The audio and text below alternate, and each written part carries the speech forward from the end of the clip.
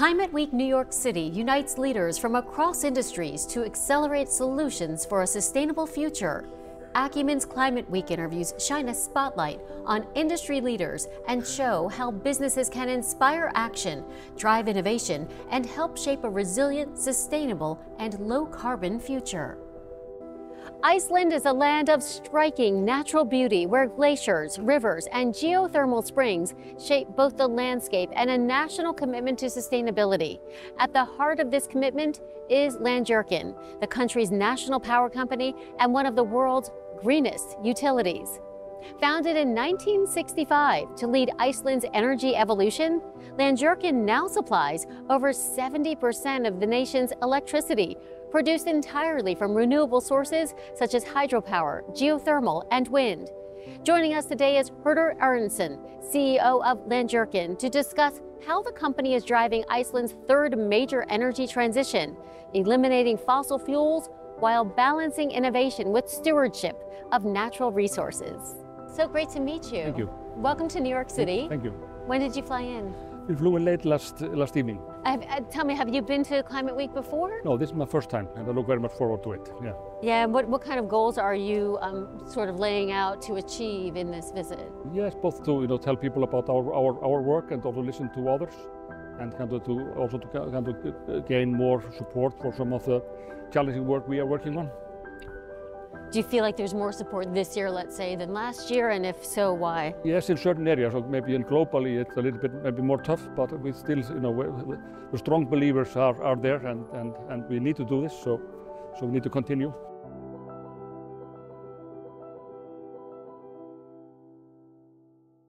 Are you excited about Climate Week? Yes, yes. Look very much forward to it. Yeah, yeah. Lots of meetings, I'm sure, right? Yes. But this is your first time to, Yes, to this is my Week first time, yes, yes. So what do you think? Yeah, I think it will be a very, a very interesting topics that are, that are being discussed, and I look forward to participating and listen. Hmm. Yeah, face-to-face meetings are important, right? Especially in yes, this space. Yes.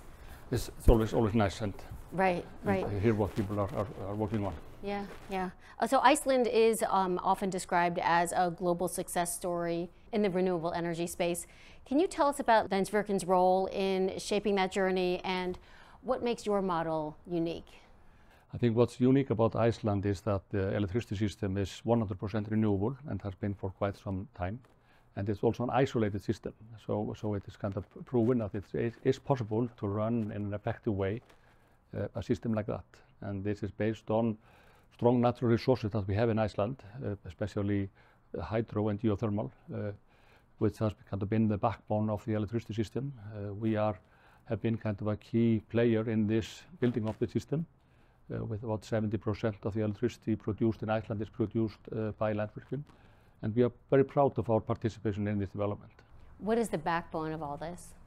The backbone of all of this is kind of the, the, the, the hydro system. That's really the reliability, being op- able to operate that and, and, and control it when needed, the flexibility it offers, and uh, that's kind of the key to the reliability of the opera- operation. Electricity has a carbon footprint um, of how much and where does that figure into this discussion? It's very low. It's, it's, I would say it's close to zero. It's, it's about three uh, grams uh, uh, compared to on average, uh, uh, you know, in, in the world it's about 400. And to, to be classified as a green production, you have to be below 100. So we are far below that, and we are, we are say we are close to zero. Why did Iceland make such bold choices around energy and how has that influenced uh, Landsvirkjun's leadership today?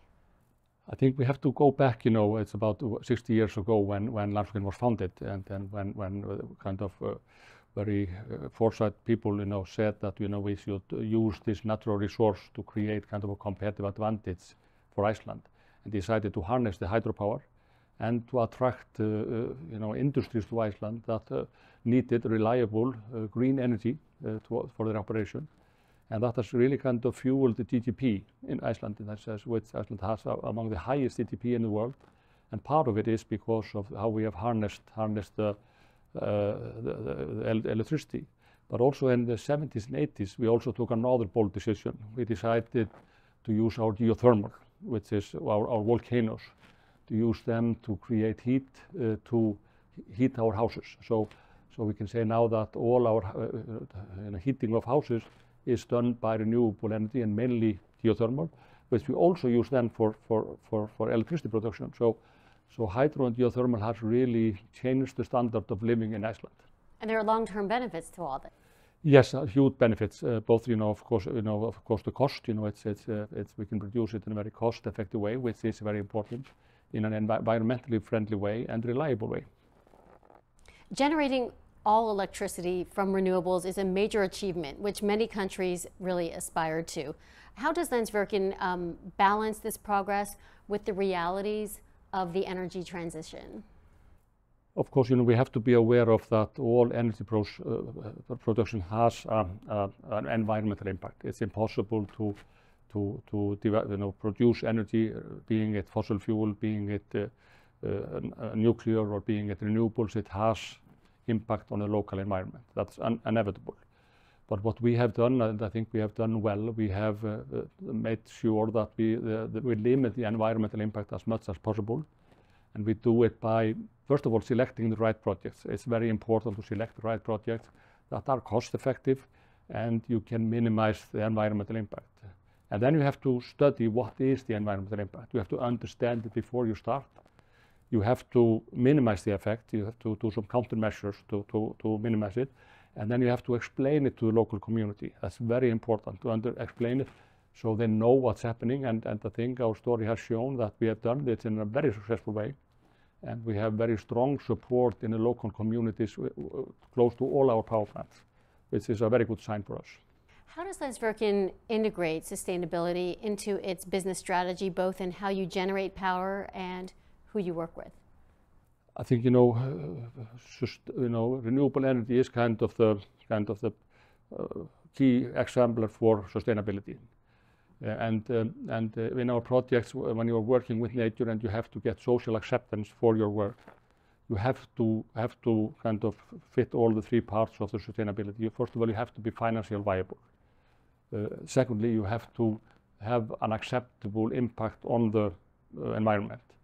And thirdly, uh, uh, you have to have, you know, have a positive impact on the, the local community. So the financial, the environmental, and the social has to go together. If you, if companies like Landsvirkjun are going to get, you know, license to operate, and um, so it is extremely important to to to to, to and it is kind of a kind of in our DNA. You know, we we cannot work without it. It's long before we, we knew the concept of sustainability, we were doing it. Looking to the future, what role will uh, Landsvirkjun play in Iceland's next energy transition and in the global fight against climate change? I think we, we will play an important role. You know, if we look at what needs to be done, it needs to be face. First of all, is to phase out the fossil fuels. That's that's that's the, that's the big issue, and we will do that. You know, by continuing to build out power plants. You know, build out uh, cost-effective, uh, you know, good power plants that have a limited impact on the environment Secondly, we will do it by by uh, uh, operating well our uh, existing plants, develop them and make sure that they'll almost go forever. Thirdly, I think it's also important that companies like Landsvirkjun make a good, example how we operate. Although our, main contribution is the electricity we produce, we can also do well in minimize our carbon footprint. And we want to, support the circular economy and we want to have the positive impact on the local environment. So, so we can also be a very good example. So, so we are definitely focusing on supporting the, the goals of the government to be carbon neutral in, in 2040. But we also say that you know, it's very important that we continue to be backbone of the economy to deliver cost-effective electricity to green industries that, that are based on, on, on using green energy, like data centers, like food production, so we want to continue to support the development, but I think also we have, have an, can have an important role just telling our story. Iceland has a very good story to tell, the story of you can build, how you can build a completely renewable system in electricity and space heating. Uh, and, and, uh, and a small country in the Northern Atlantic that we could do it, I think that should really kind of encourage others to do the same thing. Thanks so much for your time today. Great conversation. Thank you. Iceland's story shows that a renewable future is not a dream, but a lived reality. Landsvirkjun's leadership proves how bold choices, rooted in stewardship of nature, can power national progress while inspiring global change. As the company advances toward net zero and supports Iceland's third energy transition, it offers a reminder that with vision and perseverance, the path to a sustainable energy future is within reach for all.